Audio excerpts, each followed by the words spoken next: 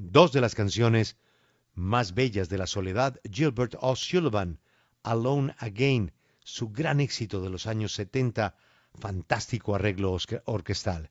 Y al cierre, una belleza, una belleza de, de himno a la soledad. Años 60, años 70 era James Taylor.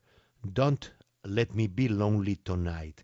No se te ocurra dejarme solo esta noche.